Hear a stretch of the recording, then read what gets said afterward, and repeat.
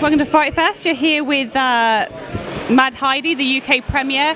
Have you had a chance to see the film yet? I have had a chance to see the film, yeah. And uh, what do you think the audience are going to make of it? Well, I hope they're going to laugh out loud. It's a very, very funny movie. It's got lots of um, uh, appropriate shocks and uh, uh, uh lots of action um, and lots of humour. Can you tell us a little bit about the, the role that you play? Well, I'm playing uh, Heidi's grandfather. Um, Heidi's parents lost her parents when she was a baby, so I brought her up.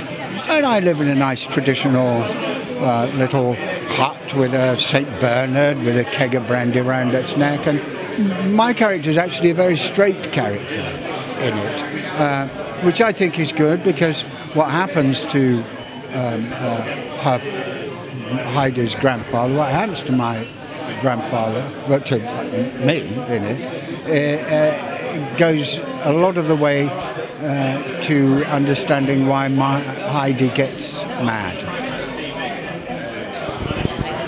I mean, he's, also, he's got a few secrets in his closet as well, hasn't he? You know, Heidi, during the course of the film, Heidi, you know, discovers some things about him. You know, was that something that appealed to you about the role that he he wasn't just your nicey nice grandpa, he was hiding other things? Well, any actor with any role, in whatever it's in, um, uh, always likes to take uh, a, a, journey, even if it's only a journey from A to B.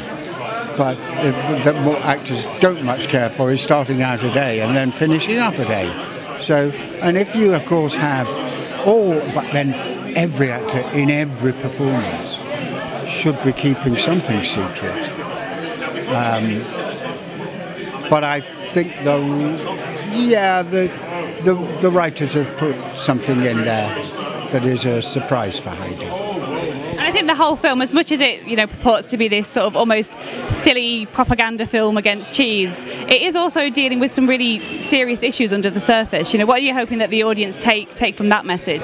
Well, I hope they're going to laugh, and then I hope they're going to realise that the outrageousness of some of the themes in it uh, are so outrageous uh, because it's an anti-fascist, anti-sexist, anti-racist movie.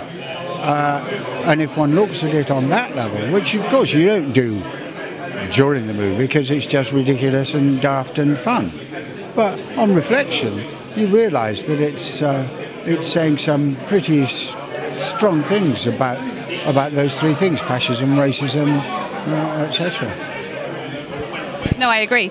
And I guess um, now that Mad Heidi's out in the world, have you got any other projects that you're working on? Uh, I'm, uh, uh, I've got a, a, film coming up that I'm going to be going to shoot imminently, um, which is about um, uh, the Mongolian. It's a fantastic movie, actually. It's about the Mongolian sweep across Asia uh, with uh, Genghis Khan's grandson. So it's all it's very really action packed, and we're going to shoot that over in where it happened, over in Hungary. Yeah, that's called Gateway to the West, and uh, we'll be out next year.